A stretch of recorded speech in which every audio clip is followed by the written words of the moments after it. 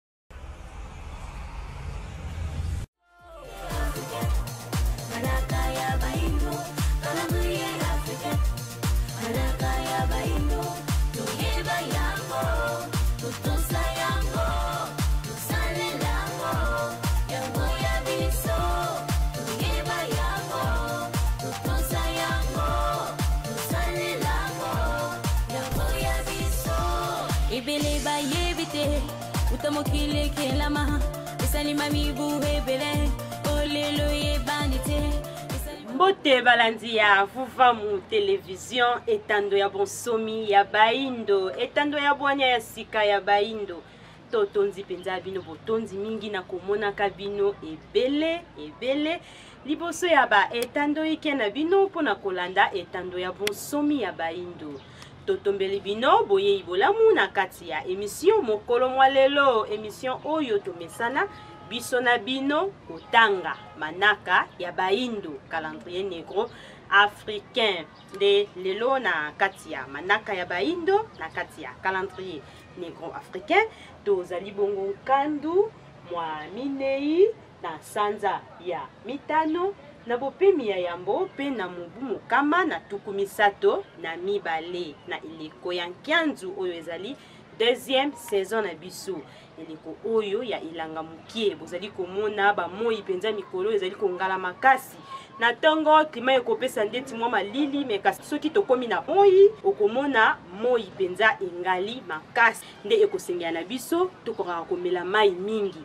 tokokaka mpe lisusu kolia bafrui bambuma oyo ebimi mikolo oyo toza na safu eza deja wana ebimi mangusta ezali banana mpe atako ezali kokende na suka me ezali bambuma nyonso oyo ebimi na eleko oyo tokoka bongo kolia yango topesaka mpe bana na biso mai mingi mpo ete soki moi eza makasi chaleur eza makasi epesaka bana bafièvre nde fièvre wana ekomaka, ekomaka ti na kokitisa bango makila tokoka bongo kopesa bango bamai mingi wana ezalaki date du jour na biso ya mokolo mwa lelo na kati ya manaka ya baindo tobalisaka yango na manaka ya bapaya calendrier greco-romain mpo ete bososoli ekoka bongo kozala lelo dimanche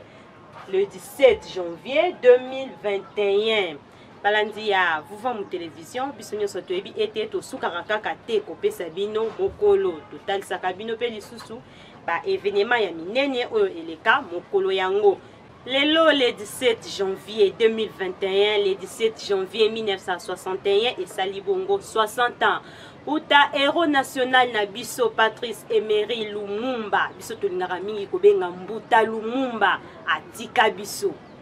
hero national azalaki mpe parmi baye oyo babundelaki indépendance na mboka na biso nde biso nyonso toyebi ete discours na ye verite na ye yango nde ememelaki ye liwa na miso ya bapaya oyo balukaki koboma mbuta lumumba nde lelo tofandi na kati ya bandako mpo na kokomemore lisusu mosala oyo ye asalaki mbuta lumumba ayebisaki biso histoire na biso ekokomama mpa na biso moko bacongolais histoire na biso ekoki kokomama mpa bapaya te mpo biso nde moto kokoma maye oyo tozali kovivre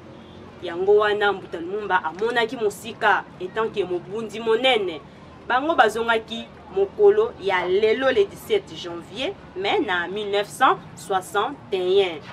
balandi ya vuvomu television tosukaka kaka wana te tokembelaka mpe totombelaka mpe na baye banso babotama mokolo ya lelo bambotama elamu bambutukulu ya mbote lelo le 17 janvier totombeli lisusu na moko wa biso nkengi na kati ya religion africaine Tata Kimwanga Kiwembo, totombeli yo bambotama elamu, bambutukulu ya mbote na bankengi nyonso mpo ete moko kati na bino asili mpenza kobotama. Bobosana te soso na biso tokoleka na ndako tokoya kolia. Totombeli lisusu mpenza mbotama elamu na tata Manziku Lumumba oyo azali moyembi na kati ya lisanga ya bana ngangu. lisanga ya bana ngangu mobimba totombeli bino bambotama elamu bambutukulu ya mbote libata ezanga te mpo nayebi ke biso yango kaka nde toliaka biye oyo ezali frais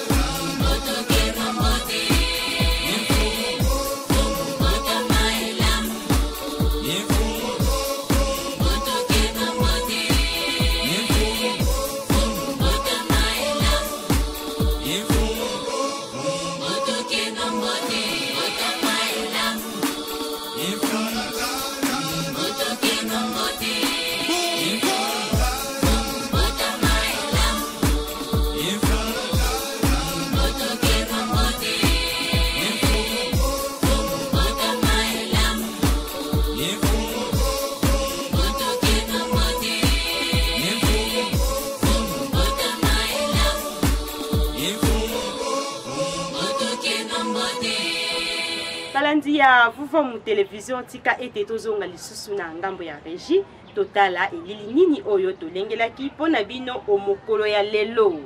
une date dont vous enseignerez avec fierté la signification à vos enfants pour que ceci à leur tour fassent connaître à leurs fils et à leurs petits-fils l'histoire glorieuse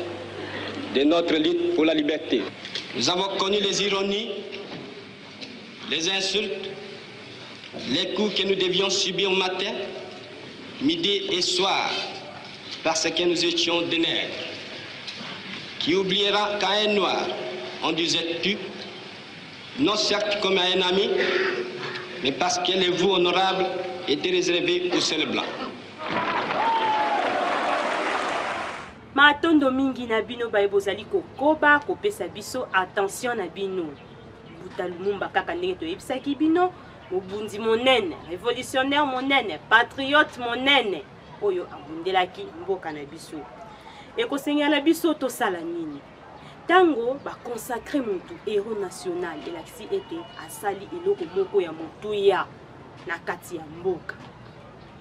président mobutu amonaki ete mbuta lumumba atako lolenge oyo ye akufelaki ezalaki na volonté na biso bacongolais te kasi na volonté ya bapaya oyo bamonaki ete bakoba kaka colonisation atako bapesi biso indépendance na mboka na biso